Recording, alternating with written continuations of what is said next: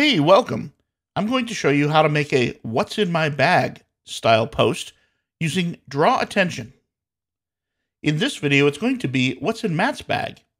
Every year, Matt Mullenweg does a post where he shows what's in his bag. He does it by writing numbers on everything and then writing it all out below. We are going to use Draw Attention to do the same thing. So when we're done, you'll be able to click on these items and a light box will pop up with what's inside. Now, I'm not going to do all 54 of them because that would be tedious, but I'm going to try to get a variety of shapes and sizes so that you can see how they work. So let's get started. We'll click Add New and type in what's in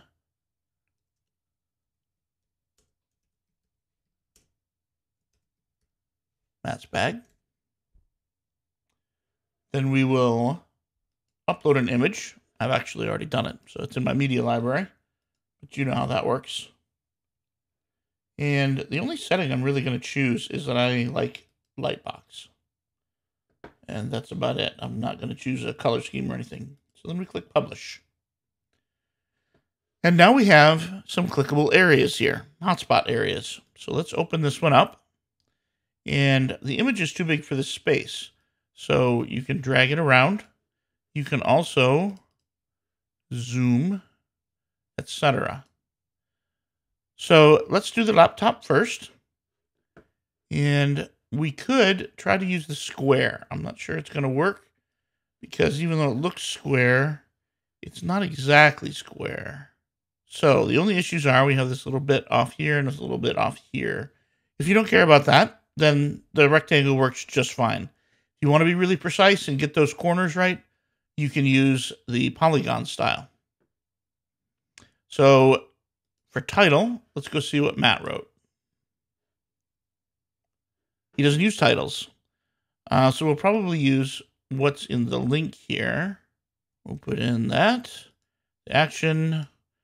You show more information. So we are going to grab all of this and Drop it right there.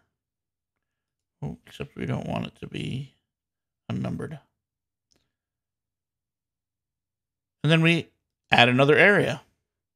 Now, when I clicked that, it minimized the previous one and opened a new one.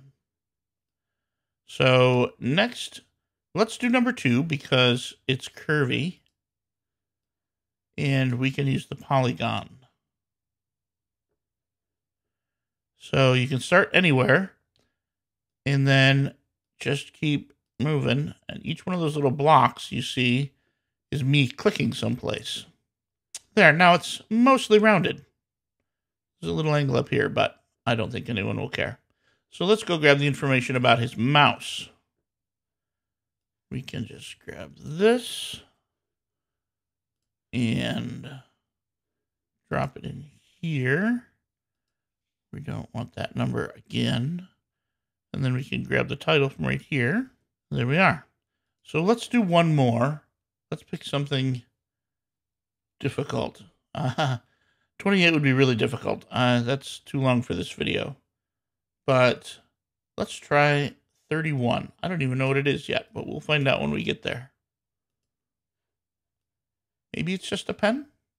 Looks like there's a readout on the side. So let's see. I'm going to do the polygon again because it's not straight. But it's close. There we go. So let's go find out what 31 is. It's a rechargeable candle lighter. That's pretty cool. There we are. Now I'm going to update this post. And now we want to view this on a page. So let's go to pages and add new. And you can give it the same title. And then we're going to look up the Gutenberg block for, well, there it is. Then we will publish this and view the post. Now, if I hover over his laptop, it lights right up. And it doesn't look too weird that the corners are odd. I think if it wasn't me that did it, I wouldn't notice. But the title pops up right there nicely. And then in the light box, we get this. And then we'll click the mouse. And then the candle. So you can see how it would work to do everything on here. It would take a while, an afternoon, but these things are usually done for fun, for the love of the adventure. If you do What's in My Bag, please, please let us know. And we'd love to call it out in social media, etc.